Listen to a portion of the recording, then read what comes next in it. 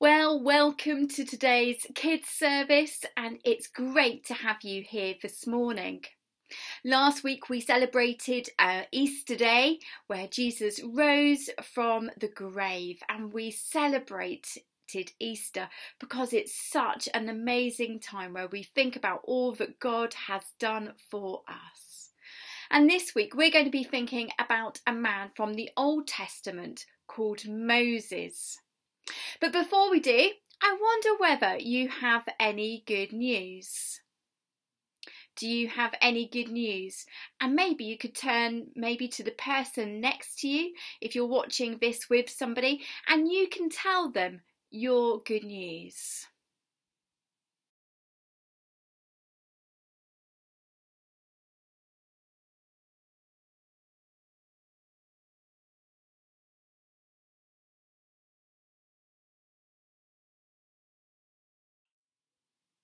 Well, having told uh, someone else about your good news or what you've enjoyed about this week, let's give that to God. So, Lord Jesus, we thank you for the good things in this week. And we pray, Father, that there would be good things in the week ahead of us. In Jesus' name we pray. Amen. Well, as we begin our time together, we come before God to say that we're sorry. Last Sunday, as I've already said, we celebrated that Jesus came back to life. And Jesus showed that through his death and resurrection, coming back from the cross and from the grave, our sins can be forgiven. And so we can be confident about Jesus forgiving us the things that we do that are wrong. And so let's take a moment now to quietly think about what we might need forgiveness for.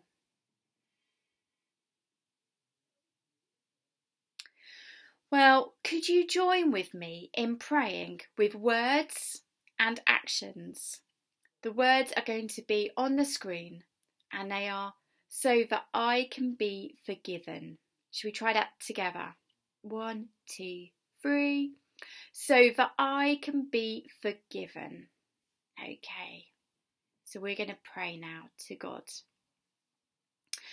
So, can we make a cross with our fingers like that? Lord Jesus, we are sorry for the things that we have done wrong. Thank you that you died on the cross for us so that I can be forgiven. Can we point to our eyes? Great, well done. Lord Jesus, we are sorry for the things that we have looked at. And so we say together, so that I can be forgiven. Next, can we point to our ears? Lord Jesus, we are sorry for the things that we have listened to that you wouldn't be happy with us listening to. Please forgive us so that I can be forgiven.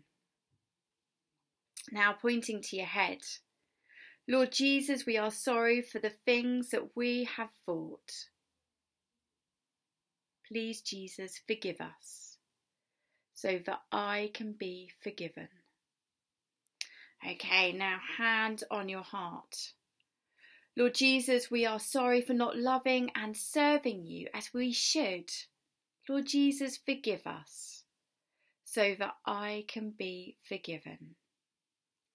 And knowing that Jesus longs to forgive us, let's put our hands open in front of us like we're receiving a gift, because we are receiving a gift, a gift of forgiveness.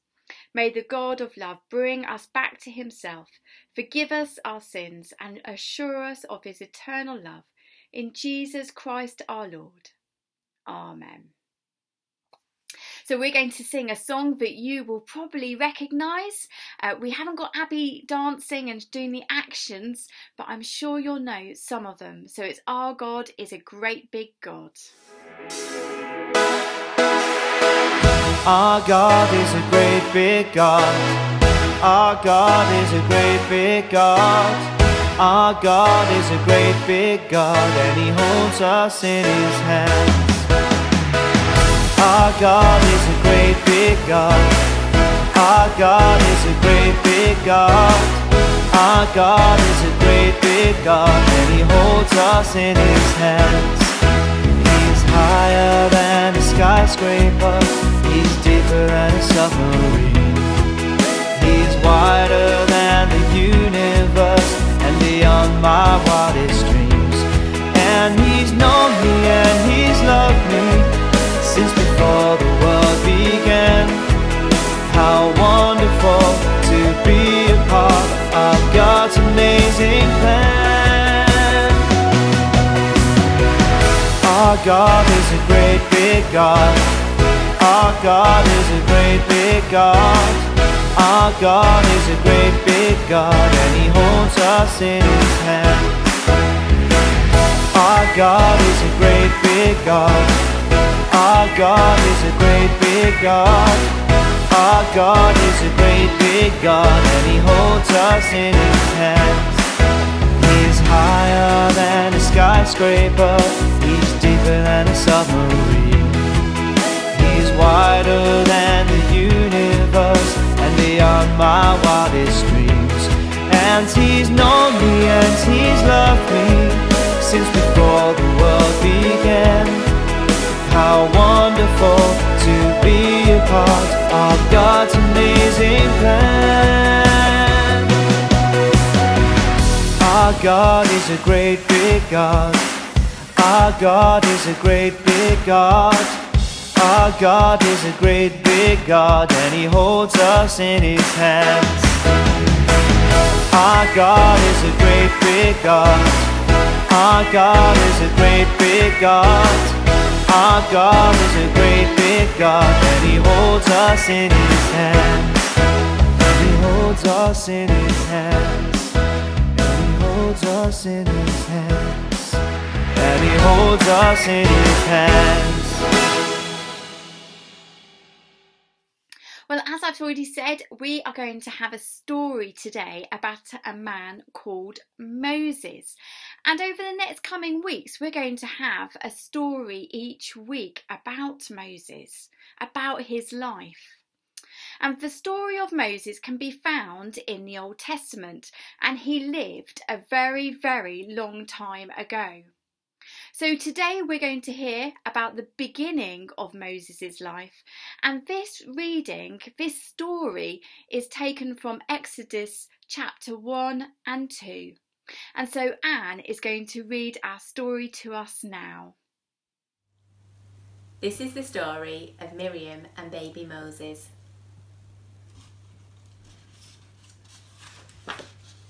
God's people, the Hebrews, were living in Egypt, but the Egyptians didn't like them. The Pharaoh of Egypt said, There are too many Hebrews. Let them work for us as slaves. And so they did. But the Hebrews still grew in number. So the wicked Pharaoh said, Every Hebrew baby boy that is born must be thrown into the Nile River.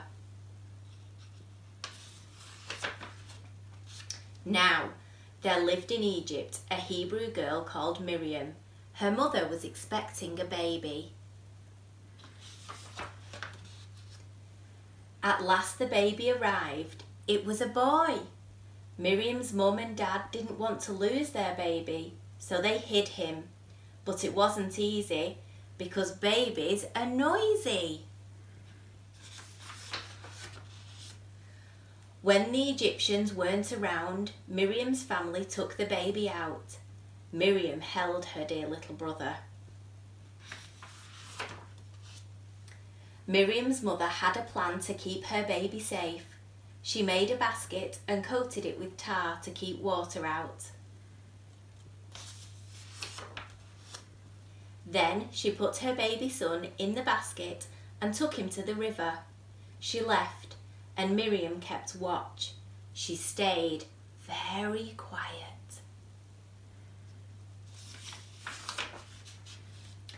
Not long after, the Princess of Egypt came to the river. She was going to bathe. Miriam was frightened for her baby brother.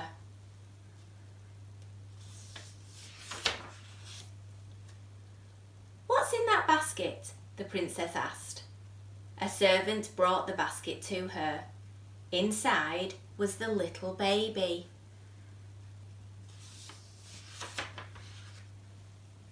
It's a Hebrew boy, said the princess. She loved the baby.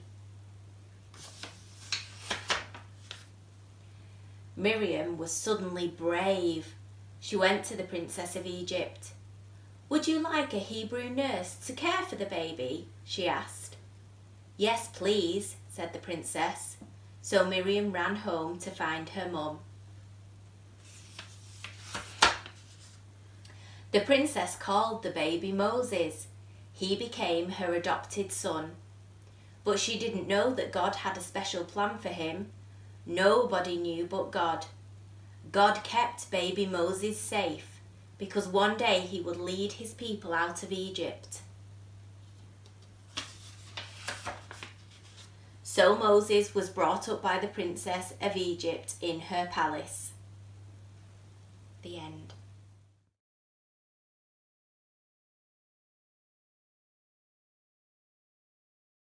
When was the last time you saw a newborn baby?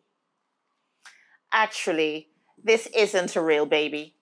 It's only baby Moana in baby Annabelle's top. This, however, is the last baby that graced our house. Our story today is about a mother, a mother who was scared. The Pharaoh was like a powerful king, and he had said every baby born to a Hebrew woman must be killed. Moses was a Hebrew baby born to a Hebrew mother, so he was in great danger. She needed to make a decision, even though she was scared. She decided she was going to be brave. Being brave is doing what we know is best, even though we're scared. So she bundled up her fear, together with her love for her baby, placed them in a basket, and sailed it down the river in the direction of someone who had a bit of a reputation. Moses' mother knew that God had a reputation, a reputation for taking care of his people, of those in danger, of those who are scared. That is the same God that we serve today. So, was Moses' mother correct in trusting God? Absolutely. As the Pharaoh's daughter saw this baby floating along the river, she saw how beautiful he was. She thought he was adorable and took him without hesitation. Important women in those days got help to take care of their children. And so Pharaoh's daughter needed a nanny, or a childminder, you could say, to take care of him day and night. She sent for help from among the Hebrew women. And guess which Hebrew woman came? That's right, Moses' real mother was sent. Moses was now safe because the Pharaoh's daughter took him as her own son. And Moses' mother was happy because she got to see him every day and to take good care of him. Today, like Moses' mother, let us remember the reputation that God has a reputation for taking care of his people, of those in danger, of those who are scared. And let us remember, he will take care of us like he did for Moses, and take care of those we love like he did for Moses' mother. Would you join in saying amen to this prayer? Lord Jesus, help us to be brave in trusting you. We know that you're famous for taking care of those who are scared and taking care of those who trust in you. Help us to trust in you with our whole heart, now more than ever. Amen. Thank you so much, Anne and Lathita, for our reading and our talk this morning. morning.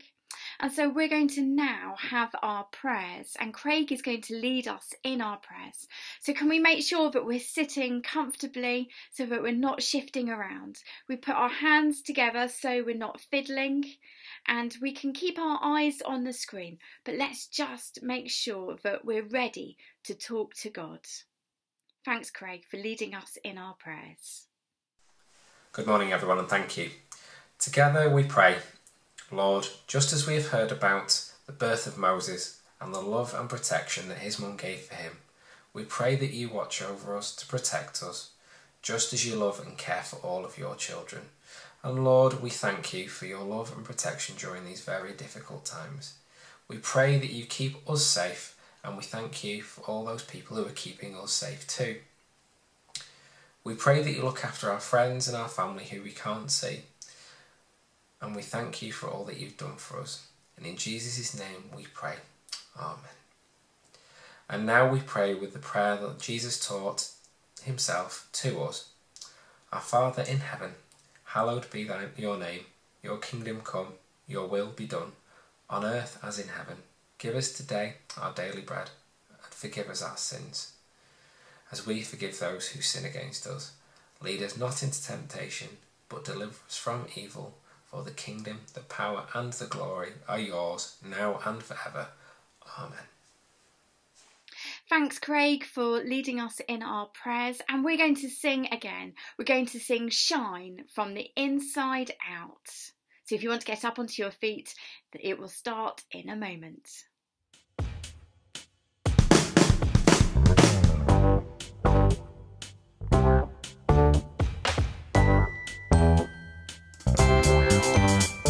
Shine from the inside out, that the world will see you live in me. Shine from the inside out, that the world will see you live in me. You know me and you love me, you feel me, so send me to shine. From the inside out, that the world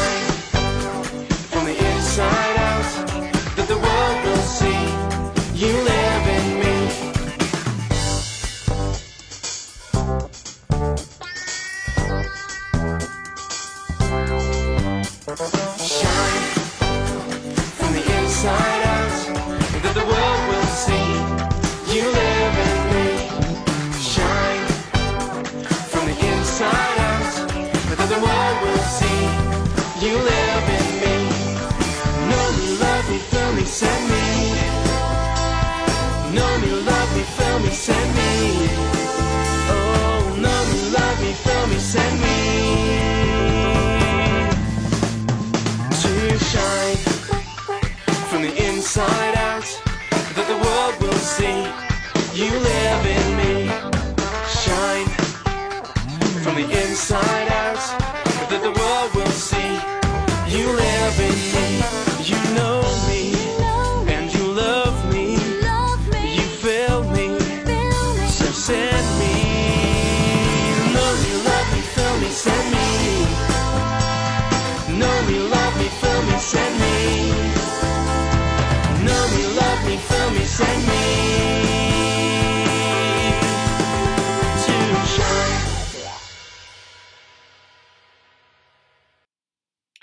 great to be able to praise God in the words of shine. And we're going to now have our craft, and Sally's going to lead you in that craft. Thanks, Sally. Okay, so today we are going to do Moses in the bushes. So if you want, you can get your pencil and draw a pond shape on your white piece of paper, or you can cut out a pond shape with your blue piece of paper. Here's one I cut out earlier. So you get your glue, stick the back, and stick it on. There you go. Now you need your piece of card that is bigger than that one. And you need to cut out a basket shape. Here's one we did earlier for you. So we glue the back, stick it in the middle of your pond. like. And then if you want, you can get your brown pencil crayon and you can draw lines to make it look more like a basket. There you go. Now you need your smaller piece of card with your scissors and you need to cut out a face. So here's one I did earlier for you. So get your pencil and you draw two little eyes. And if you want, you can draw a smiley face. Get your glue, glue the back, and stick him on, just like that. Now then, for this next bit, you need to get your glue, and you need to glue all of your page, something like that, and on your pond, if you want. There we go. Then you get the grass that you've collected and you stick it all around something like that. So then there you have your Moses in his baskets in the rushes. Well, this week I have been growing some sunflower seeds, and this is where my seedlings are growing. And so you can see, well, I might not be able to see, but there is, if I take this off, a group of seeds that says sunflowers. And I'm hoping that they will soon grow. As you can see, there's nothing here at the moment, and maybe some of you might have planted some seeds. Now, if you have planted some seeds, once you see some shoots coming up, would you take a photo of them or get one of um, an adult in your household to take a photo of them? Or you could draw them, and if you can send them to me, we will be able to put them onto the com- uh, computer and then we can put them onto the TV so that people can see how our flowers are growing. We need to make sure that we water them.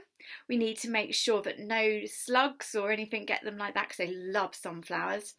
And we need to nurture these seedlings. So if you see any shoots, take a photo and let me know.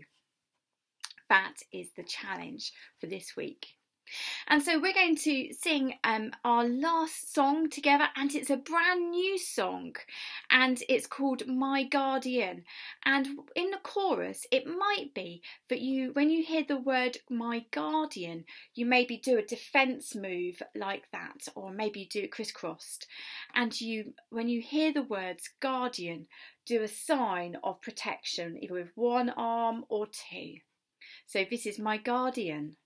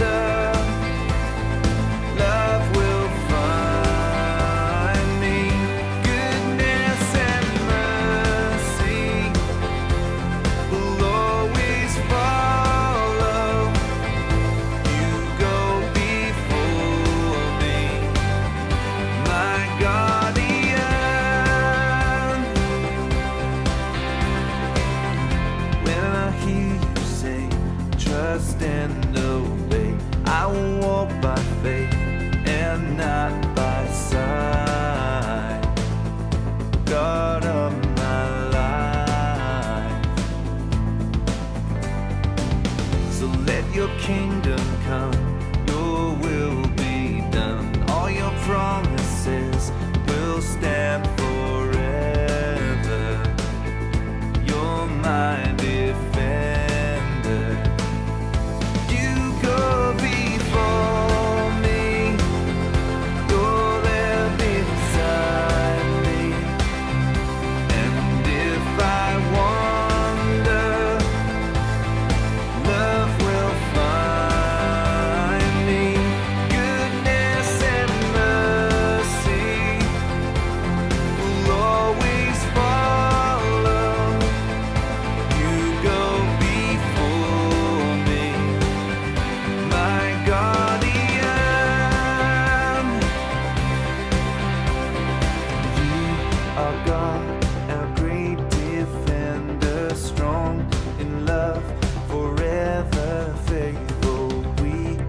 yours, and we will trust in you.